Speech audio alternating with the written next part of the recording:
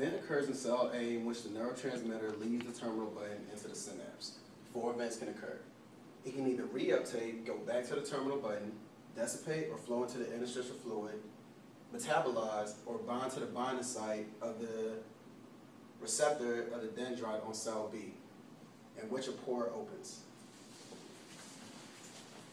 Before a pore opens, we are at a resting membrane potential of negative 70 millivolts due to two phases. Osmosis, which is equilibrium concentration gradient, or electrostatic pressure, in which opposite charges attract. This, this is when ions transfer. Since sodium wants to get into the cell, two processes, processes occur. A quick depolarization and a quick hyperpolarization. This process is known as EPSP, or excitatory postsynaptic potential. During this, neurotransmitters are all throughout the cell trying to bind to the binding site. This process is known as summation. During summation, we cannot hyperpolarize, so we reach a threshold of excitation at negative 65 millivolts, in which charges have accumulated, opening gated channels in the axon hillock.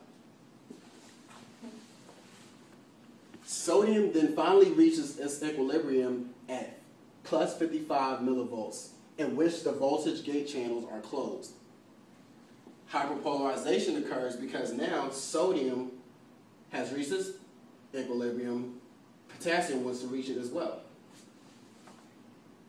Potassium reaches its equilibrium at negative 75 millivolts, but because it's not at a resting membrane potential, a quick sodium potassium pump brings it right back up to negative 70 millivolts.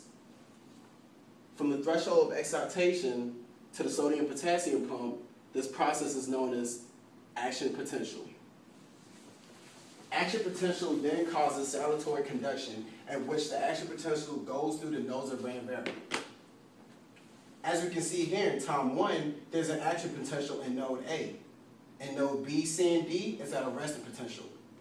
When we look at time 2, node A is at a resting potential, node B is now at an action potential, and node C and D are at resting potentials.